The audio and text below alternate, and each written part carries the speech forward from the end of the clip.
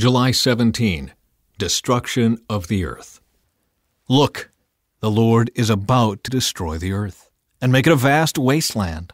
He devastates the surface of the earth and scatters the people priests and laypeople, servants and masters, maids and mistresses, buyers and sellers, lenders and borrowers, bankers and debtors. None will be spared. The earth will be completely emptied and looted. The Lord has spoken.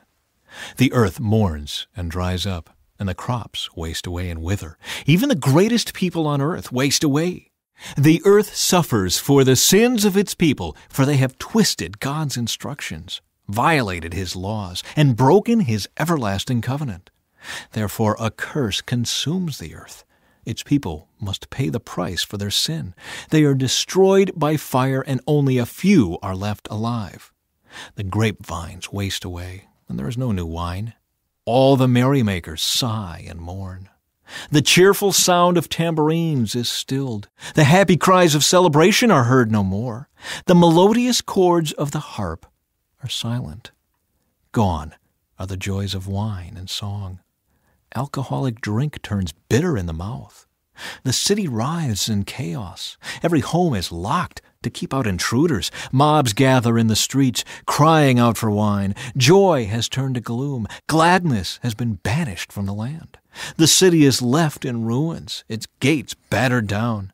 Throughout the earth, the story is the same. Only a remnant is left like the stray olives left on the tree, or the few grapes left on the vine after harvest.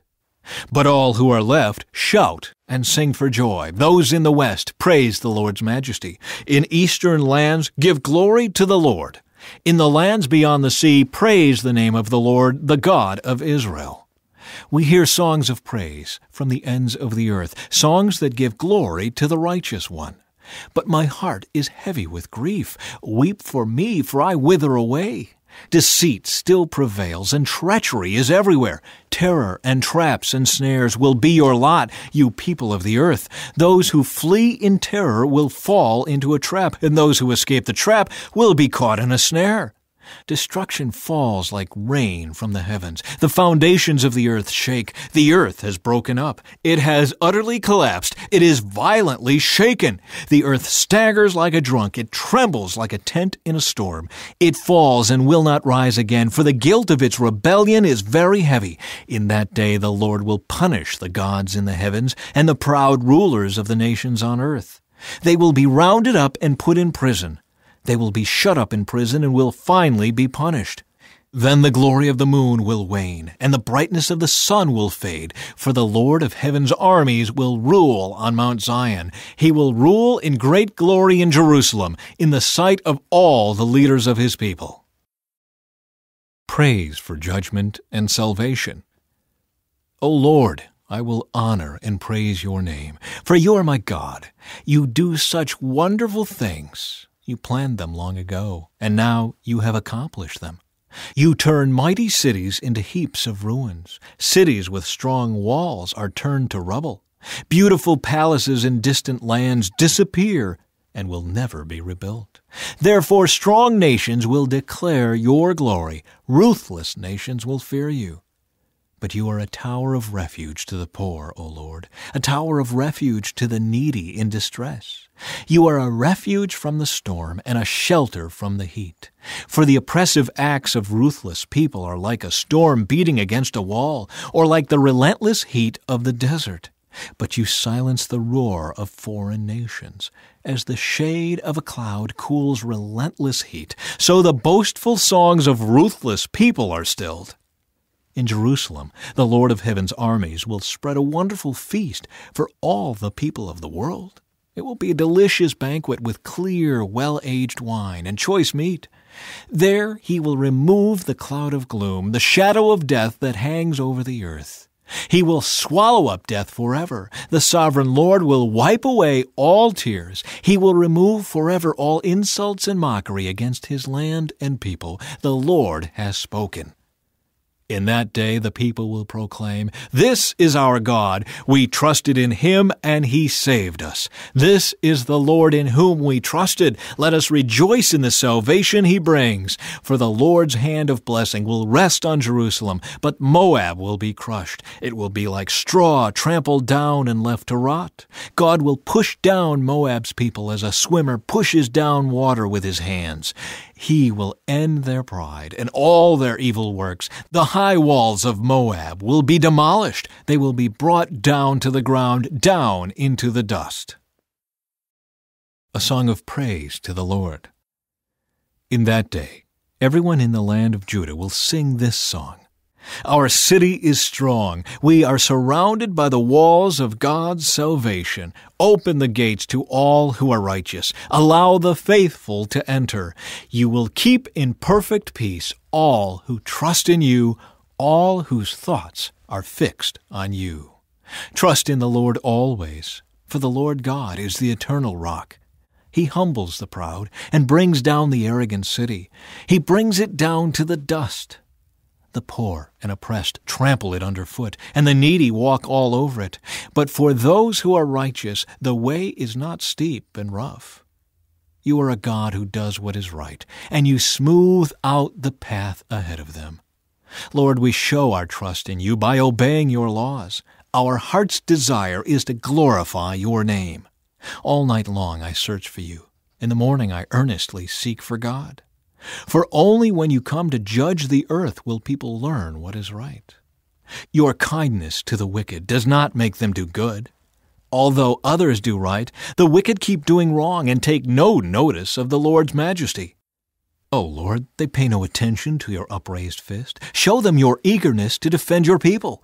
Then they will be ashamed. Let your fire consume your enemies. Lord, you will grant us peace. All we have accomplished is really from you.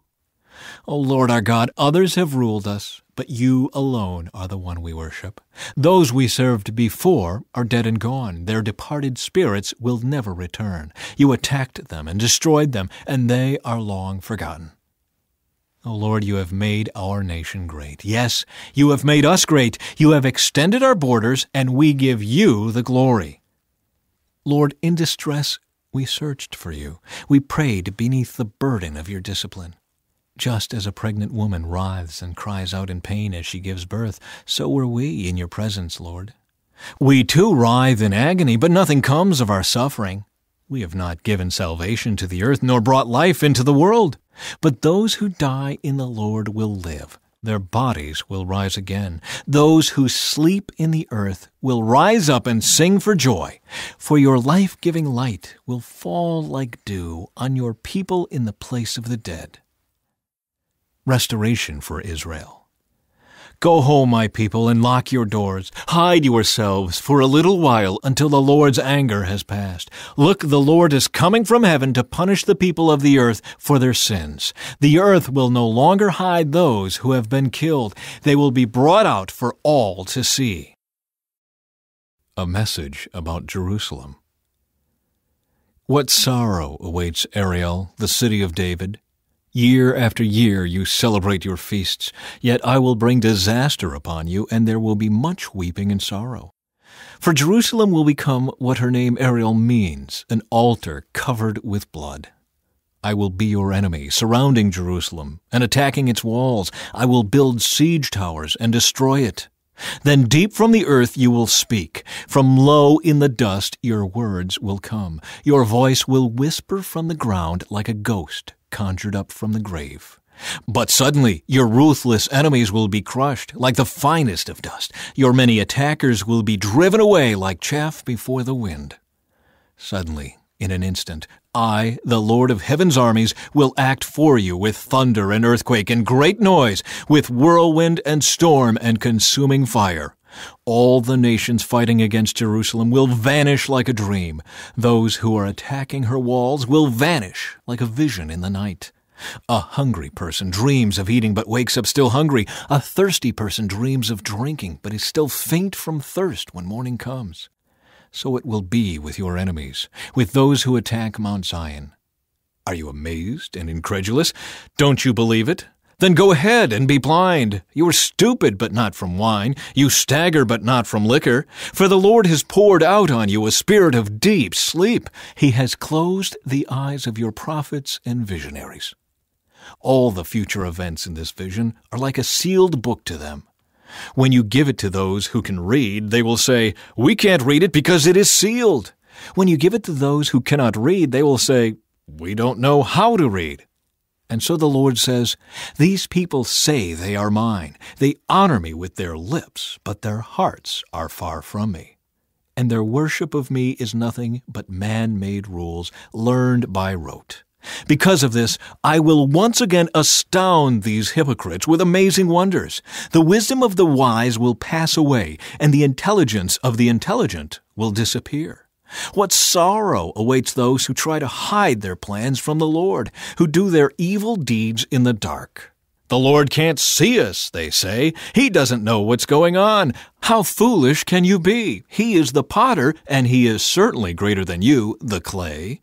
Should the created thing say of the one who made it, He didn't make me?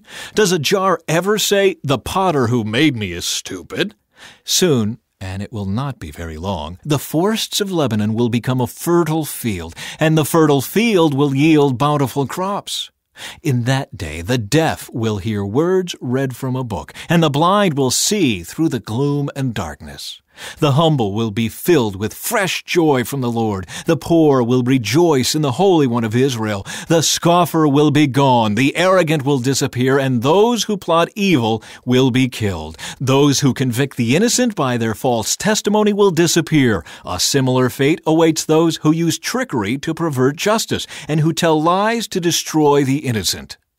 That is why the Lord, who redeemed Abraham, says to the people of Israel, My people will no longer be ashamed or turn pale with fear, for when they see their many children and all the blessings I have given them, they will recognize the holiness of the Holy One of Israel. They will stand in awe of the God of Jacob. Then the wayward will gain understanding, and complainers will accept instruction.